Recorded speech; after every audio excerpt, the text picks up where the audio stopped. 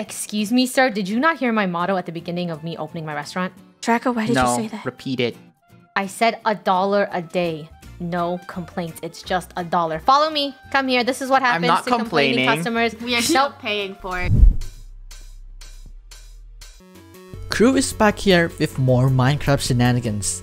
Green Guardians consists of brand new players straight from the crews themselves including ItsFunneh, Rainbows, Golden Glare and Draconite Dragon. These players have been making videos together as well as playing games together for the last couple of years. They are best known for their Krewcraft series and various Roblox videos, with their chemistry entirely shown in the video as well as their positiveness and fun approach to games that they play. Hey, can I get a lemonade, please? Yeah, can I get a lemonade Yes! too? One lemonade.